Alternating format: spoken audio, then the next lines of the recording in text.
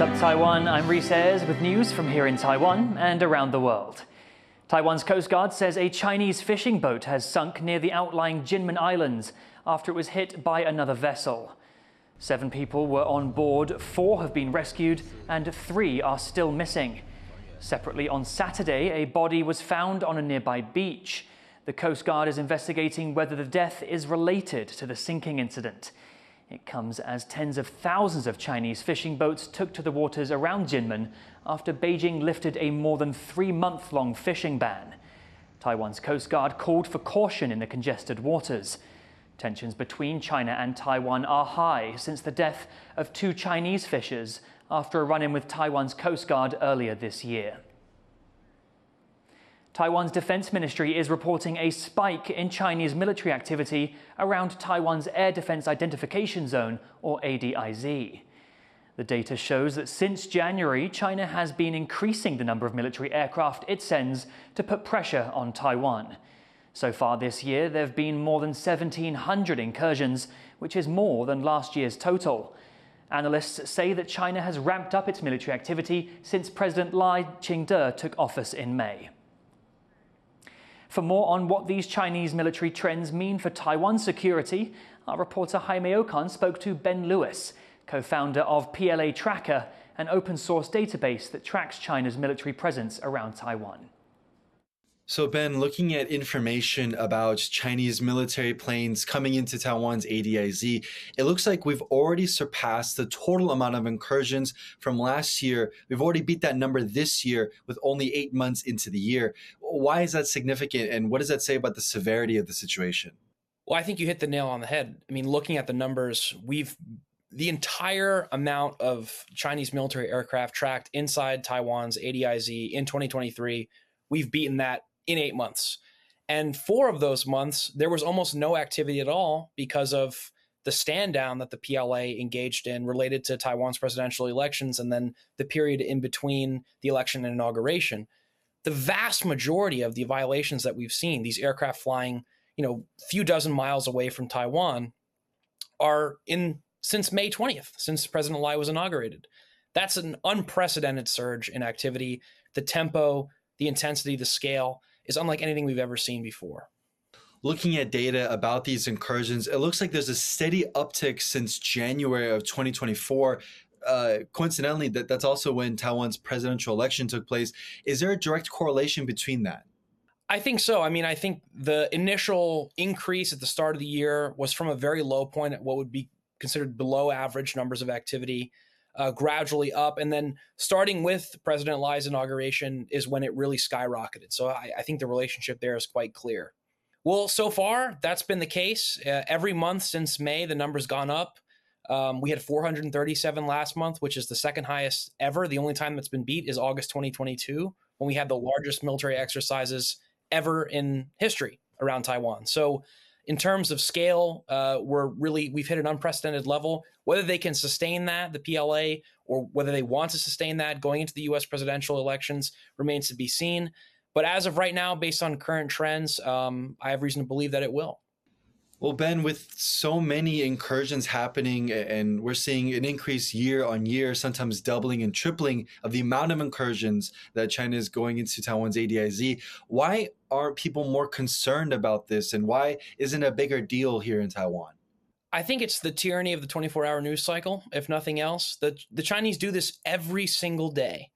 And when you're sending 10, 15 aircraft a day, eventually 10 or 15 aircraft aren't scary anymore to the to the public. Um, and then you bump that up to 20, 25 every single day. Eventually, 20 or 25 aircraft are not really going to get your attention. Um, you know, when I first started working on this, the kind of consensus among uh, colleagues I was working with it on was that you know 10 or more aircraft was a big deal. And so, you know, I think normalization has been one of, if not the primary goal of Beijing uh, with these activities. I think they want to make it so that people don't care that they have a, a, a near permanent military presence around Taiwan because it suits their uh, suits their objectives very nicely. So my concern is that you know, from where I sit, not a lot of actions are being taken in terms of how to to counter these activities, and obviously there are limits, but I'm not seeing a lot of proactiveness in Taipei or Washington, for that matter, on how we deal with this unprecedented and status quo altering surge. That was Ben Lewis, co founder of PLA Tracker. Taiwan has lowered its forecast for this year's GDP growth. The Government Statistics Office cut its prediction from 3.94% to 3.9%, citing lower than expected exports. It would be the highest growth in the country since 2021, when the economy grew over 6.6%. The office says the country's economy is still on course for stable growth next year, adding that demand for technology products remains high due to an AI boom, but shipments of non tech products have dropped. Once in decline, the practice of selling young girls off for marriage is making a comeback in Pakistan as families across the country continue to struggle years after a devastating natural disaster. What would typically be a moment of celebration, a time of reluctance and fear for Pakistani teenager Mektab Ali Sheikh, as she's married off against her will. मां इहो मां इहो न पई चाहियां त मां पंहिंजी शादी कयां ऐं जेके हाणे हींअर जेके शादियूं थियूं कनि उहे ॾाढियूं ॾुखियूं आहिनि ऐं मां चाहियां पई त पंहिंजी माना ज़िंदगी हाली ईअं ई गुज़ारियां पोइ इन ॻाल्हि खे पोइ ई ॾिसंदासीं मां चयो त हाली मां शादी न कंदसि It's for her own good, her father says, as the family struggles financially, particularly since widespread flooding in 2022 devastated their village a disaster that caused billions of dollars worth of damage across Pakistan, one of the costliest natural disasters in human history. Over 1,700 people died and millions were left homeless.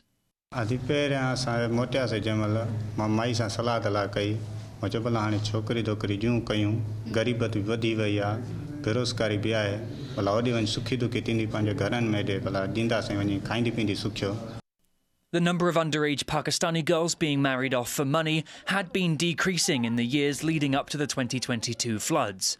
Climate scientists say climate change is making natural disasters like flooding more common, and the economic insecurity that followed from 2022 is bringing the practice back.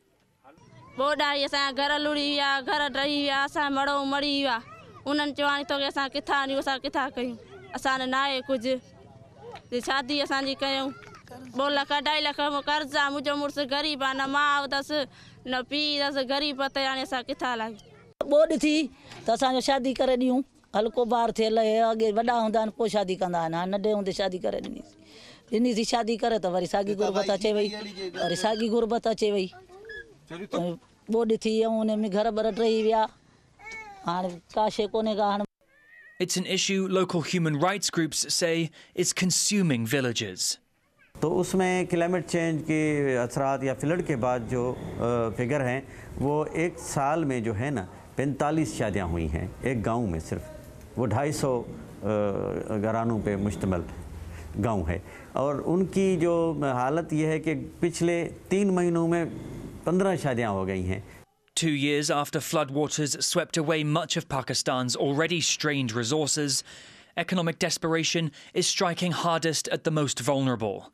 And for girls like Metab, entering these marriages is the only way to keep food on the table.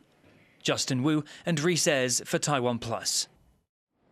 A new strain of Mpox has arrived outside Africa for the first time, with Sweden reporting its first case of the more deadly form of the disease.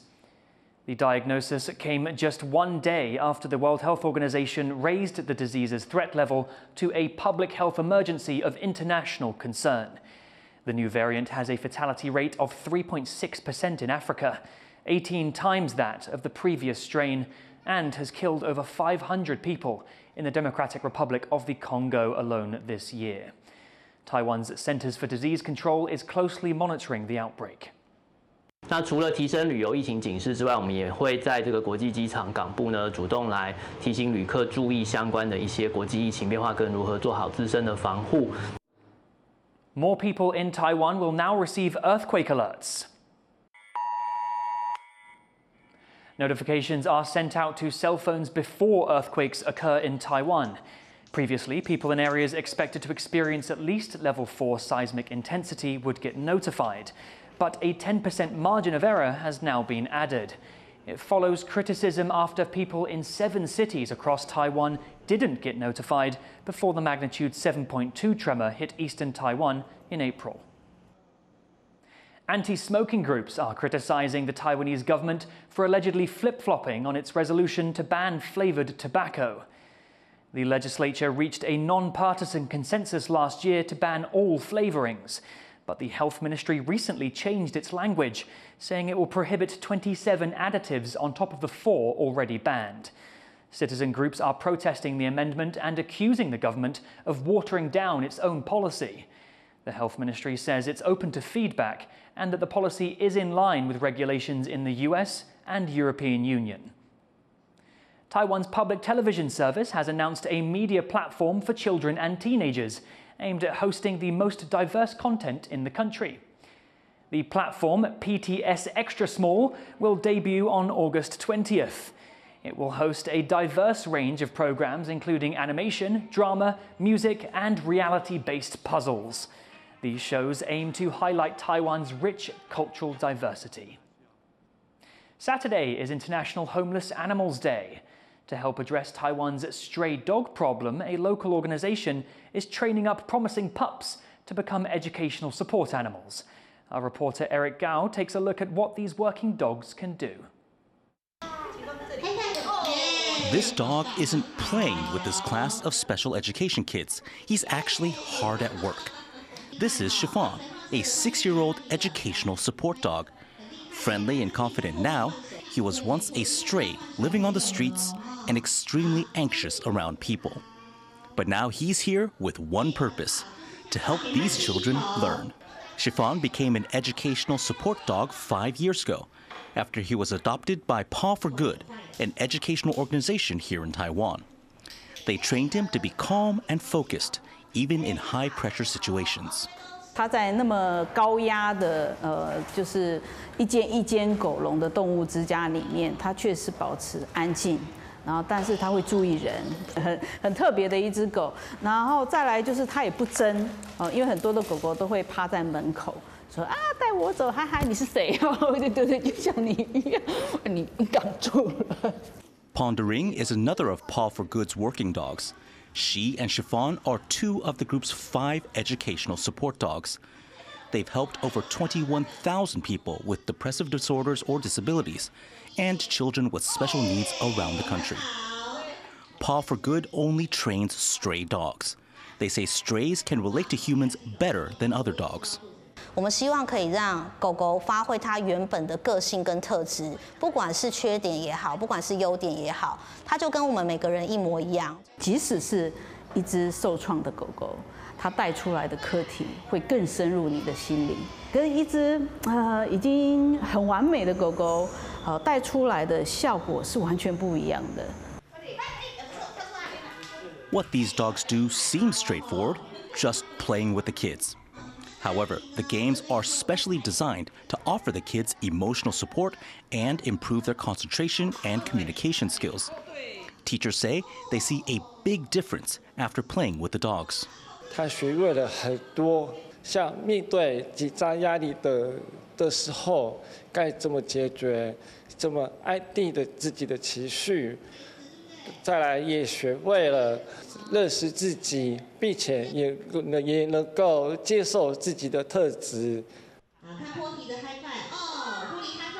There are only a few of these educational support dogs in Taiwan, which Paw for Good says is far from enough.